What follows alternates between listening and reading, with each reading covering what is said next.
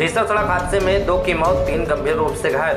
खबर है, जनपद बहराइच बहराइच के ननपारा, इमामगंज रोड पर ननपारा से घर जा रहे पत्थरा काला खैरीघाट थाना निवासी जो कि किसी कार से ननपारा आए हुए थे, जो अपने घर जा रहे थे। तभी मोटरसाइकिल सवार, जिस पर पाँच लोग सवार थे तो पीछे से डंपर ने टक्कर मार दी, जिससे मौके पर ही दो लोगों की दर्दनाक मौत हो गई।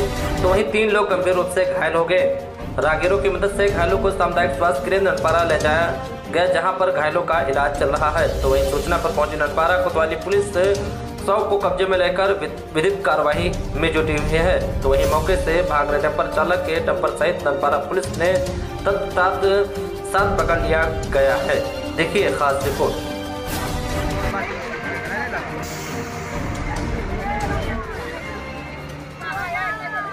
अरे सर जी कुछ लिखा गया है। नाम का है इनके?